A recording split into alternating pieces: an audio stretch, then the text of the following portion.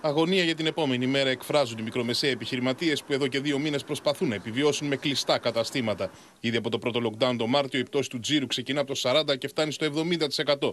Με αποτέλεσμα να έχουν χαθεί 35 δισεκατομμύρια ευρώ. Ειδικά στην εστίαση η κατάσταση είναι πρωτόγνωρη όπως την περιγράφουν οι επαγγελματίες. Σύμφωνα με τα στοιχεία, από τις 13 έως τις 31 Δεκεμβρίου καταγράφηκε μείωση τζίρου κατά 74% σε καφέ και εστιατόρια. Χρειαζόμαστε όντως τη βοήθεια οπωσδήποτε και οικονομική για να ξεκινήσουμε και όπως έχει φτάσει στο σημείο, ψυχολογικά έχουμε φτάσει στα όρια μας. Οι μικρομεσαίοι επαγγελματίες περιγράφουν μια πρωτόγνωρη κατάσταση στην αγορά. Ειδικά στον κόσμο της εστίασης, τα πράγματα είναι δραματικά.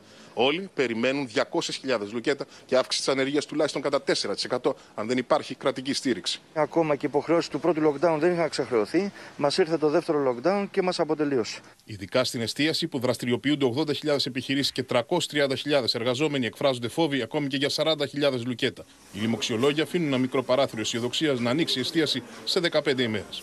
Αν πάει καλά η ιστορία με το, με το λιανεμπόριο, όλοι ελπίζουμε ότι θα μπορέσουμε να συνενέσουμε. Πότε θα το ξέρετε αυτό, πόσο διάστημα πρέπει να μεσολαβήσει; Κοιτάξτε, 15 ημέρα είναι αυτά τα οποία κοιτάμε. Το σενάριο που επεξεργάζει το οικονομικό επιτελείο είναι αν τελικά ανοίξει η εστίαση να ανοίξει αρχικά μόνο σε εξωτερικούς χώρους και με θερμάστρες.